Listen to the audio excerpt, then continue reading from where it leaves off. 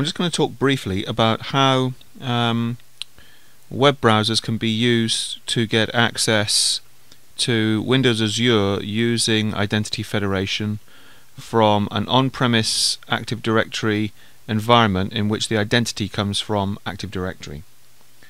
So let's draw a little cloud here. This is Windows. Uh, let's. Uh, this is Windows Azure.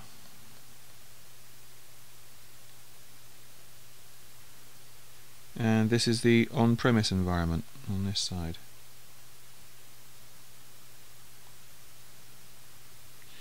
So let's put in here an Active Directory domain controller.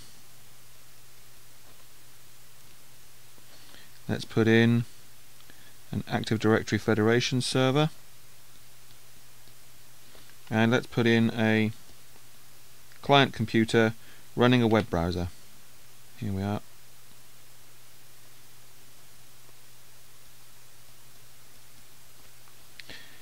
Okay, on the active, uh, sorry, on the uh, Windows Azure side, we have um, uh,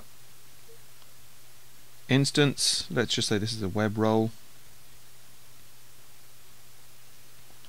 Uh, instance zero,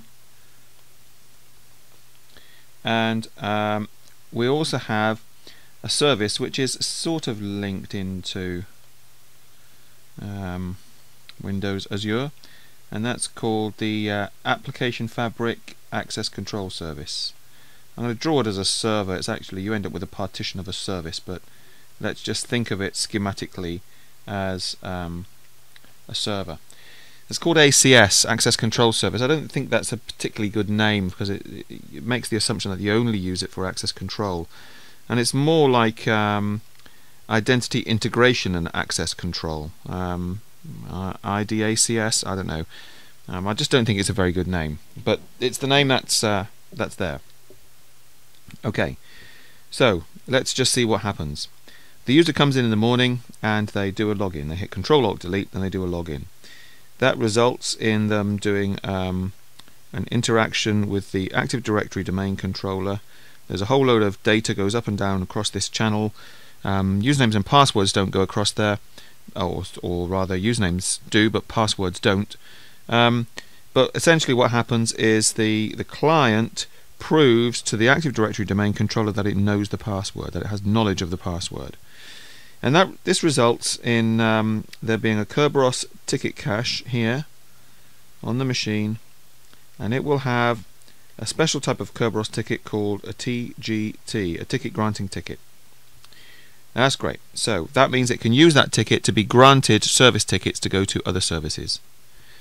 Let's imagine sometime later a user comes in and they go to the web application. Well, the web application, let's imagine that it has at its front end Windows Identity Foundation. And that what has happened is that this application has been set up as a relying party to ACS. So this is a relying party, and as far as this relying party is concerned, ACS is an identity provider. And in turn, another piece of setup that was done was that a trust relationship was set up between ACS and ADFS. Now to ADFS, looking that way, Let's draw the eyeball looking outwards. As the eyeball looks outwards, this looks like a relying party. To ACS, looking in that direction, let's draw the eyeball looking in that direction. Uh, ADFS looks like an identity provider. So you can see the relationships between the entities are different. This is an IP, an RP relationship, and yet this is an IP, an RP relationship. You can see that ACS is, is fulfilling the roles of both an RP and an IP, a relying party and an identity provider. Okay, so as I said, the user um, tries to go to the web application. WIF says, well, um, you're not authenticated, but I have a rely I have a relationship with an identity provider. This one over here. And so it redirects the user. The user goes to this ACS server. The ACS server runs a process called Home Realm Discovery, HRD. Now there are a couple of ways that this could work.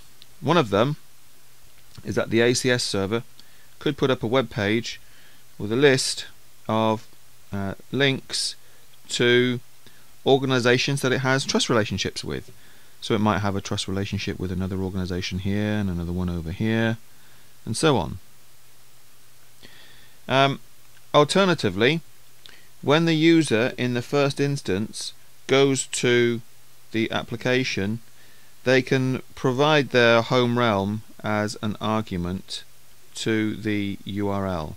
So if they were like coming from a portal, you might want to pre-configure the portal's link with the home realm of the uh, user. Okay, so let's go back to where we were. Um, the user has hit with WIF has said, I've got a trust relationship with this thing.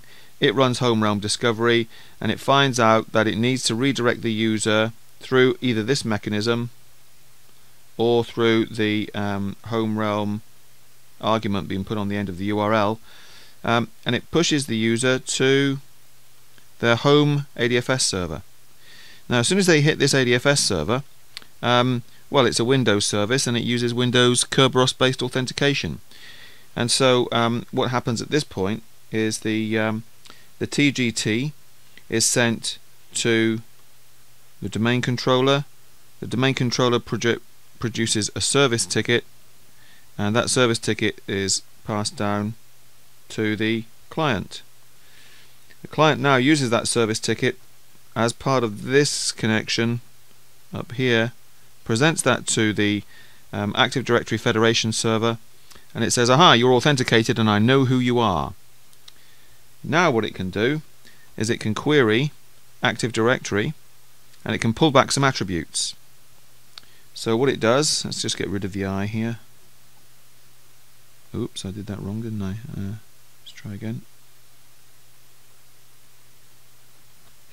Um, so now what it does is it creates a SAML token so let's build a Oops.